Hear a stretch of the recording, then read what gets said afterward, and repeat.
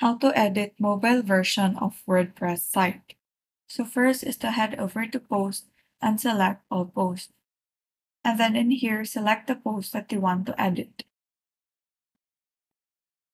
On the top right corner, you will see these icons. Select the first icon, which is View, and it will provide you three options.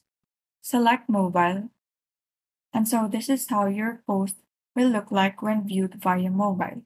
Now you can start editing your post to accommodate its mobile version. And so that is how you edit mobile version of WordPress site. Thank you and have a great day.